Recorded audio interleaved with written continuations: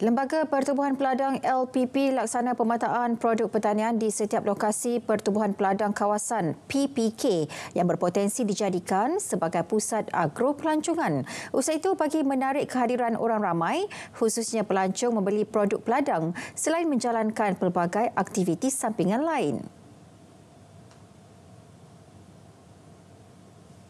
Satu pemetaan boleh dibuat.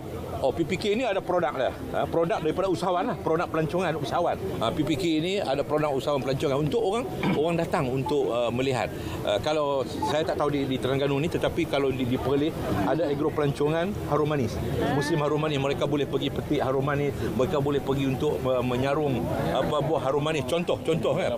Ha, jadi uh, ini antara antara contoh-contoh yang yang boleh di, di, di, diambil.